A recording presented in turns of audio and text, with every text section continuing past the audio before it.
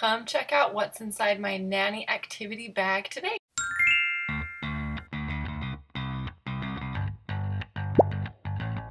Alright, so we found some really awesome books that are great for babysitting or kids' activities.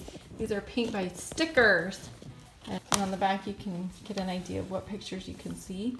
And the pages uh, are perforated so you can rip them out for easier access to do the pictures. Each of them are numbered, so if you rip off sticker number one, then you just have to find space number one. And they're not in any order, so it makes the challenge a little bit higher. So definitely five or up for this because they need to be able to locate the numbers. And then once they locate the numbers, they need to be able to fixate the sticker in the right direction. So it's a bit of a puzzle.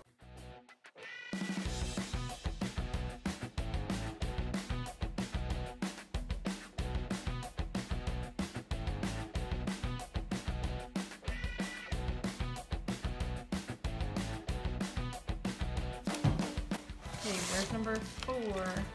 What is it? Poopy. Is that the right shape? Yeah. See?